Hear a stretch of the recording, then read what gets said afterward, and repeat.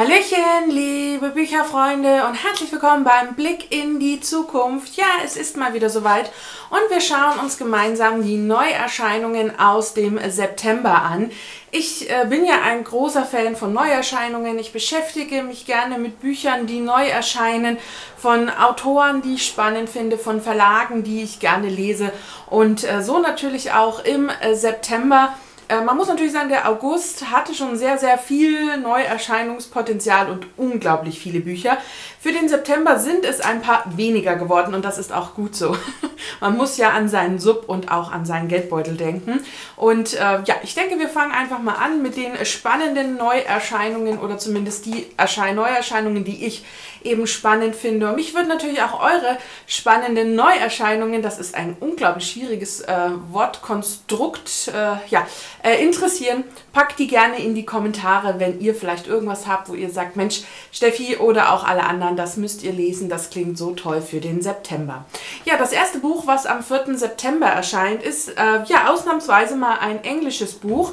Ähm, ich muss sagen, ich gucke bei den Neuerscheinungen sehr selten äh, in die englischen Bücher herein. In der Regel nur, wenn es vielleicht irgendwie eine Reihenfortsetzung ist. Ich denke da vielleicht an das Lied von Eis und Feuer. Da glaube ich, wäre ich Feuer und Flamme, wenn endlich der sechste Teil in Englisch erscheinen würde. Oder ja, äh, früher war es natürlich Harry Potter, wo man äh, vermeintlich drauf gewartet hat. Und ich weiß auch, dass ich den dritten Teil der Bestimmung in Englisch gelesen habe. Aber bei Flight or Fright handelt es sich um einen Sammelband von Kurzgeschichten, die unter anderem von Stephen King herausgegeben werden, zusammen mit Beth Vincent. Ein Autor, der mir persönlich gar nicht sagt, aber äh, ja, die, diese ganze Kurzgeschichten finde ich wirklich sehr, sehr spannend. Es gibt dazu zwei verschiedene Ausgaben. Ich vermute mal eine britische und eine amerikanische. Oder haben die Amerikaner zwei? Ich bin da immer total überfragt gefühlt. Und äh, es geht hier um das Fliegen, denn es heißt hier so schön, Stephen King hasst es zu fliegen und jetzt möchte er zusammen mit Co-Redakteur Beth Vincent diese Angst vor dem Fliegen mit uns teilen. Und es sind eben brandneue Geschichten dabei von Joe Hill und natürlich auch Stephen King. Wir haben Geschichten von Dan Simmons, der mir zumindest was sagt, auch von Conan Arthur Doyle. Ähm, ja, von einigen anderen Autoren wie James L. Dickey, Peter Tremaine, Roald Dahl, Ray Bradbury, äh, John Varley, Tom Bissell, Ambrose Bierce. Ja, Autoren, die mir leider gefühlt nicht allzu viel sagen, aber ich finde immer so Kurzgeschichtenbände, wo verschiedene Autoren äh, dahinter stecken, da entdeckt man eben vielleicht tatsächlich mal einen Autor, wo man denkt, Mensch, die Kurzgeschichte, die fand ich geil. Ich gucke mir von dem Autor einfach mal noch was anderes an. Und ich habe keinen Termin für diese Kurzgeschichten im Deutschen entdecken können. Keine Ahnung, ob die erscheint oder nicht. Das, wie gesagt, habe ich nicht herausfinden können, denn im August erschien, erscheint oder erschien, also je nachdem von welchem Zeitpunkt wir jetzt ausgehen, erscheint ja das neue Buch von Stephen King, Die Outsider oder Der Outsider zu Deutsch. Über den Titel werde ich mich nicht wieder auslassen. Und ähm, ich bin mir gar nicht sicher, wann man vielleicht diese äh, Kurzgeschichtensammlung dann sozusagen ähm, ja, herausbringen wird. Für mich ist das tatsächlich mal was, was ich mir auch durchaus wirklich im Englischen vorstellen könnte und kann, ähm, weil ich denke, dass Kurzgeschichten durchaus, ähm, dadurch, dass sie einfach, äh, einfach kürzer sind, was ja, also, ne, ihr versteht, äh, dass das wirklich etwas sein könnte, äh, was ich auch mal in Englisch lese und mich dann vielleicht tatsächlich auch mal an den Stephen King in Englisch wage, was ich ja sonst eher nicht tue. Und ähm, ja, dementsprechend werde ich hier die Augen aufhalten. Ein Buch, äh, eine Fortsetzung einer Reihe, der zweite Teil einer Trilogie ist äh, Mathildas Geheimnis und das gehört zur Reihe Die Frauen vom Löwenhof. Ist eigentlich immer angekündigt gewesen jetzt für Anfang September, hat aber teilweise jetzt auch äh, schon Start, also Erscheinungsdatum 24. bzw. 27. August. Ich bin mir da also ziemlich unsicher. Ich habe schon gesehen, ähm, dass es auch in den Ankündigungen von Audible zu sehen ist, dass das bald erscheint und es gibt da unterschiedlichste Erscheinungsdatums, äh, nein, Daten.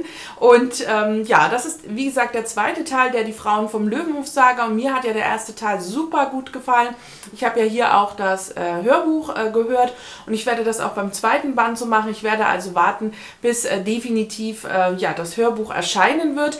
Das Tolle einfach an dieser Reihe ist, dass wir ja für drei Generationen pro äh, Band im Grunde verfolgen. Und wir haben ja begonnen, ich glaube 1900 1910, 5, ich weiß es gerade nicht mehr, 1903. Und wir haben ja hier wirklich Agneta kennengelernt, eine junge Frau, ähm, ja, die sich so ein bisschen ja, diesem Adelsverpflichtungen mehr oder weniger widersetzt und einfach so ihren eigenen Kopf hat.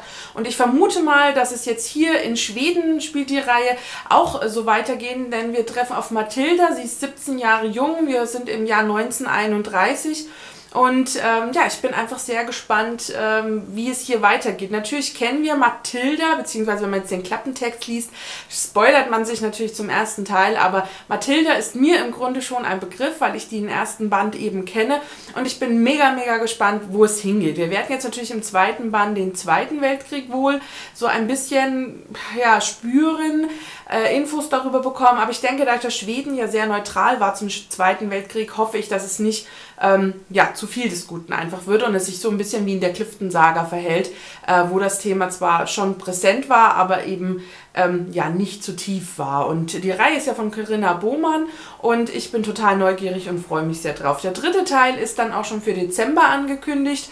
Wer weiß, vielleicht kommt der tatsächlich auch schon eher. Aber ich finde schön, dass man eben so eine Trilogie dann wirklich innerhalb eines Jahres lesen, hören kann und da wirklich nah in der Geschichte sozusagen dabei ist.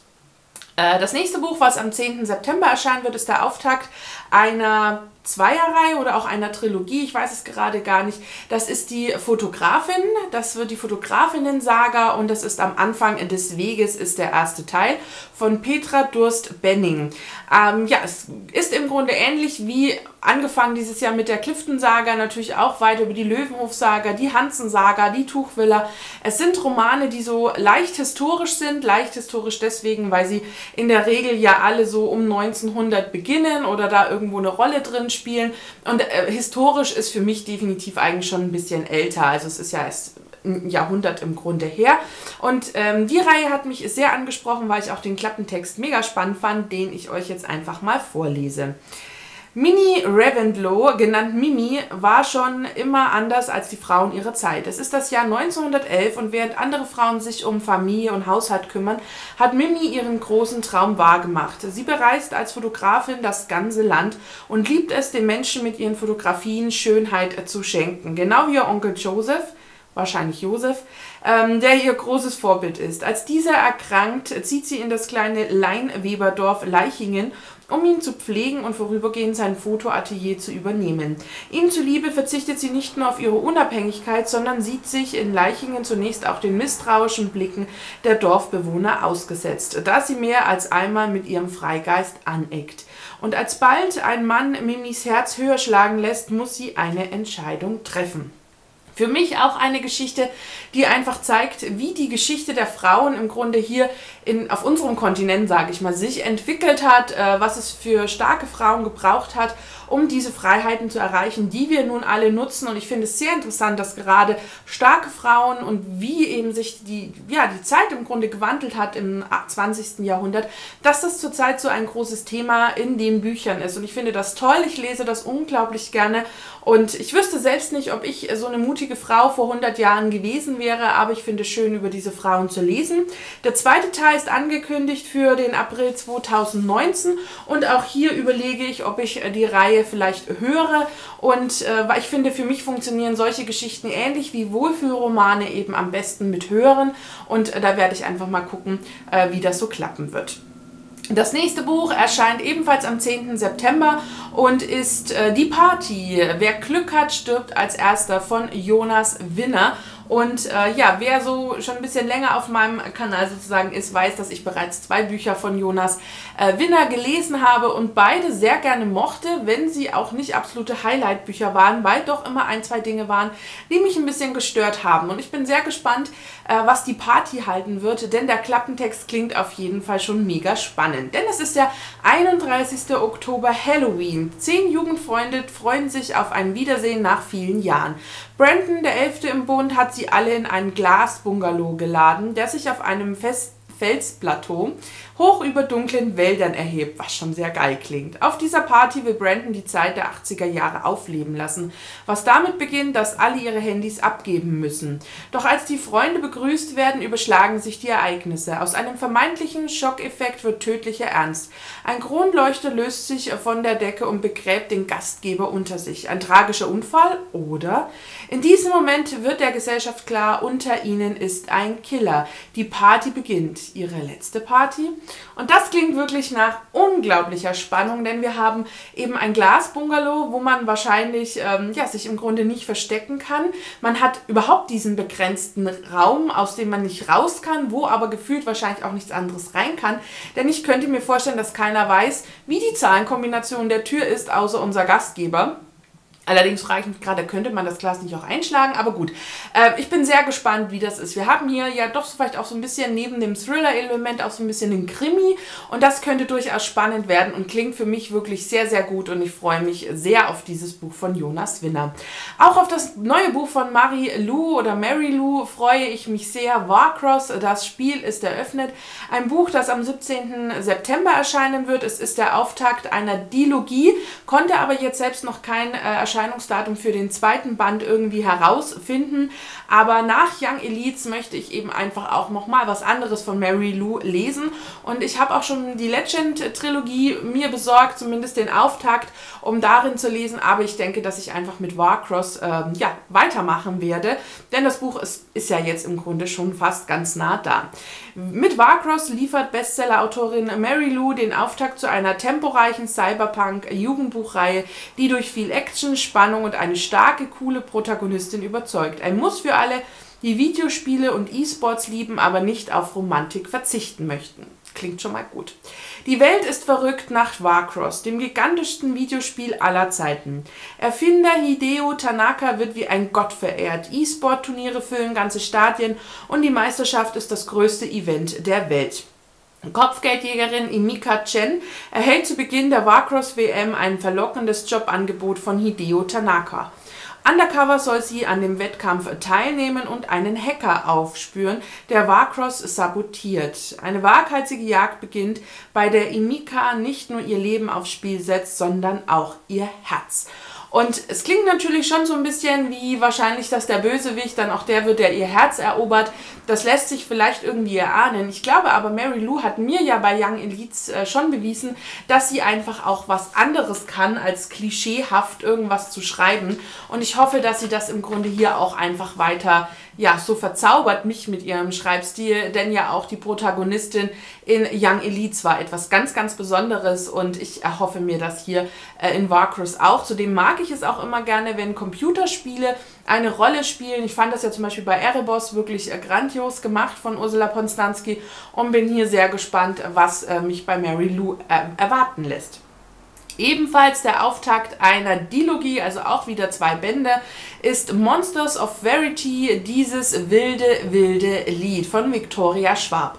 Von der Autorin habe ich bereits gelesen, das Mädchen, das Geschichten fängt, ein Buch, das ich sehr gut fand und auch noch gute Erinnerungen daran habe. Ich kann mich nicht mehr hundertprozentig an die Geschichte erinnern, aber ich weiß, dass ich das gut fand und spannend fand und auch auf die Autorin durch den Namen einfach so mir die wieder in Erinnerung geholt habe und ähm, ja, jetzt auch die Story hier sehr, sehr spannend finde. Leider konnte ich auch hier zum zweiten Band noch nicht finden, wann er herauskommt, aber der erste Teil klingt auch schon mega spannend.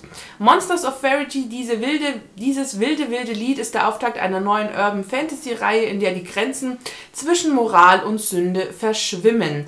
In der geteilten Metropole Verity City herrscht ein erbitterter Kampf ums Überleben, denn jede neue Gewalttat der Menschen bringt leibhaftige Monster hervor, welche nachts den Bewohnern der Stadt auflauern. Klingt das geil. In dieser düsteren Welt treffen die Kinder der beiden verfeindeten Herrscher aufeinander. Kate, die den Drang hat, sich endlich gegenüber ihrem Vater zu beweisen, und August, der jeden Tag damit ringt, seine wahre Identität zu verbergen. Denn Orkos ist ein Sunai, eine extrem seltene und sehr gefährliche Art von Monster. Als Kate eines Tages in einen Hinterhalt gerät, müssen die beiden gemeinsam fliehen. Doch wem kannst du noch trauen, wenn die Grenzen zwischen Gut und Böse verschwinden? Und auch wenn das hier schon ein bisschen sehr jugendlich anhaucht, hoffe ich doch, dass wirklich das Spannungsgefühl, diese Fantasy-Welt und auch wenn es Urban Fantasy ist, muss natürlich die Fantasy-Welt überzeugen, dass das einfach gut gemacht ist, spannend ist, packend ist und die Idee, dass man im Grunde hier das äh, ja, Peter Pan-Feengesetz umdreht, wo man, wenn man ja an Feen glaubt und klatscht, sozusagen eine Fee entsteht. Ähm, dass man hier einfach sagt, immer wenn irgendwas Böses passiert, kommt ein Monster auf die Welt, was ich total geil finde von der Idee. Äh, finde ich mega gespannt, was Victoria Schwab hier zaubert und freue mich sehr, sehr, sehr auf diese Geschichte. Überhaupt finde ich alle meine entdeckten Neuerscheinungen wirklich spannend. Ich habe ähm, ja wirklich ähm, versucht, das schon so ein bisschen einzugrenzen. Auch Geschichten, die mir, die ich vielleicht äh, ja, als das Sommerprogramm rauskam, entdeckt hatte äh, und mal auf die Wunschliste gepackt hatte und dann jetzt so merkte, hm, irgendwie sagt ihr dir nicht, sie sind auch einfach mal von der Wunschliste geflogen, weil ja, irgendwann muss man das ja auch alles noch lesen. Ne? Ich glaube, ihr kennt mein Problem. So, jetzt bin ich natürlich gespannt, äh, welche Bücher ihr jetzt von den Vorgestellten interessant findet, was vielleicht auf eurer Wunschliste landet, welche Bücher ihr selbst spannend findet. Schreibt das gerne in die Kommentare. Ich würde mich hier sehr über einen regen Austausch freuen. Und danke euch nun fürs Zusehen, wünsche euch noch einen schönen Tag, einen schönen Abend, einen sommerlichen Wetter mit tollen, warmen Temperaturen, die wahrscheinlich, wenn die Bücher rauskommen, ja dann schon ja, verloren gegangen sind. Aber ja, in diesem Sinne wünsche ich euch einen schönen Tag. Lasst es euch gut gehen. Danke euch fürs Zusehen und bis zum nächsten Video. Tschüss, eure Steffi.